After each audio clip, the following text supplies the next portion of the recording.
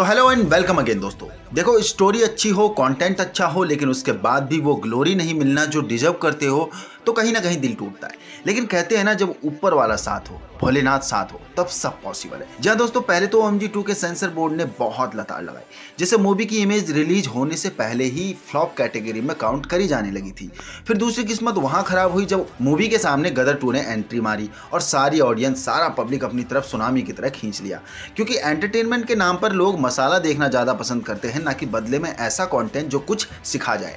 जी हाँ दोस्तों, लेकिन अपने कंटेंट के दम पर ओ एम गदर टू से टक्कर लेकर अपने हिस्से की ऑडियंस अब छीन के ला रही है।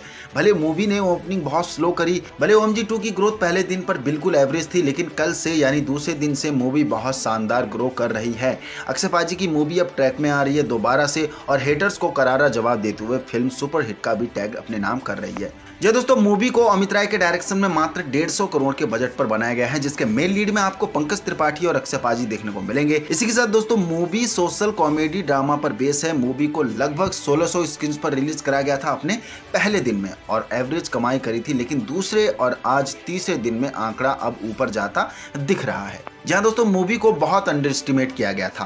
पहले तो ये कि अगर ये फ़िल्म 11 अगस्त यानी परसों ना रिलीज़ होकर अगर किसी और दिन रिलीज़ होती तो शायद इस फ़िल्म के आंकड़े में दो गुना बढ़ोतरी देखने को मिलती हर दिन। लेकिन फिर भी दोस्तों अपने कंटेंट के दम पर इस फ़िल्म ने काफ़ी अच्छी कमाई करी है। साथ ही सभी यूट्यूबर्स ने भी मूवी को बहुत अच्छे रिव्यू दिए हैं और पब्लिक की तरफ़ से भी काफ़ी स्ट्रॉन्ग रिएक्शन देखने को मिल रहे हैं।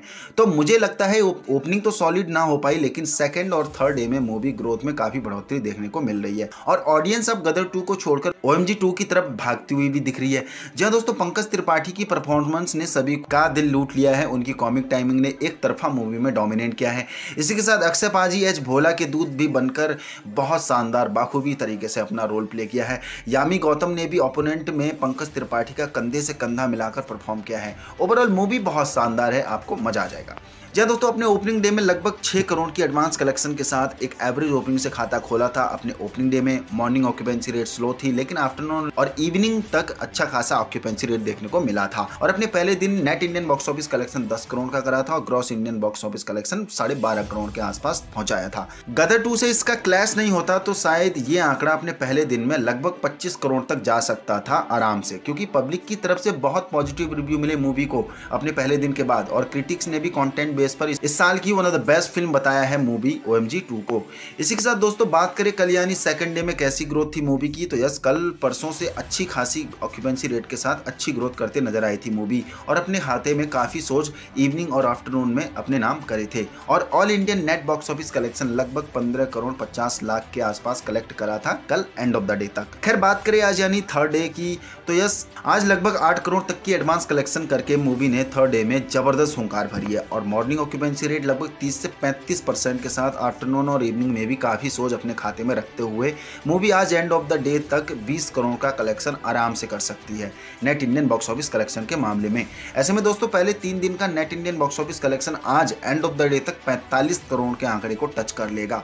वहीं gross Indian box office collection all over India से ती, पहले तीन दिन का छप्पन करोड़ के आंकड़े को टच कर लेगा। और पूरी दुनिया से पहले तीन दिन का world wide box office collection लगभग छियासठ करोड़ के आंकड़े को टच कर लेगा। दोस्तों मूवी को पब्लिक की तरफ़ से काफ़ी अच्छे रिव्यू मिल रहे हैं और पॉजिटिव रिस्पॉन्स भी मिल रहा है तो अनुमान ये लगाया जा रहा है कि अपने पहले हफ़्ते में धमाका कर करने वाली है ये फ़िल्म। तो मैंने बहुत बोल लिया अब आपकी बारी। अगर आप लोगों ने भी ओम जी टू को देख लिया है तो आपको ये फ़िल्म कैसी लगी? अपना एक्सपीरियंस कमेंट बॉक्स पर ज़रूर शेयर करके जाना। बाकी मूवी रिव्यू और बॉक्स ऑफ़िस से जुड़ी सभी अपडेट्स के लिए और बॉलीवुड हॉलीवुड और साउथ फ़िल्मों की अपडेट्स के लिए हमारे साथ ऐसे जुड़े रहना। और अगर चैनल पर नए हो तो सब्सक्राइब ज़रूर करना। दूसरा अंगूठे वाला बटन दबा के वीडियो को लाइक ज़रूर करना। मिलते हैं अगली वीडियो में। जय हिंद।